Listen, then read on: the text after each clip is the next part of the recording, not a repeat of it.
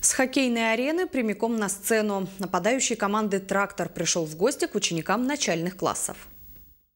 Что находится на наколенниках, да, что прикрывает? Не гамаш это называется.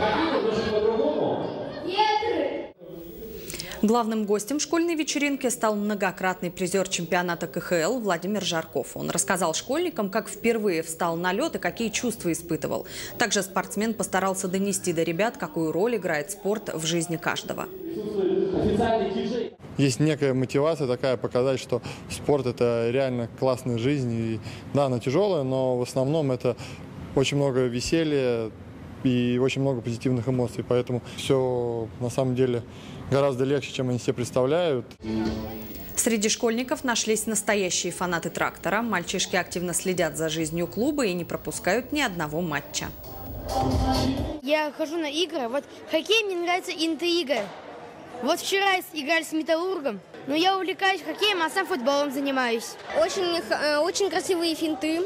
Есть финты, которые делаешь на льду, есть э, которые шайбой. В завершении программы в зал вышел талисман хоккейного клуба «Белый медведь». Школьники были в восторге и тут же кинулись обниматься. В подарок каждый получил билет на игру черно-белых.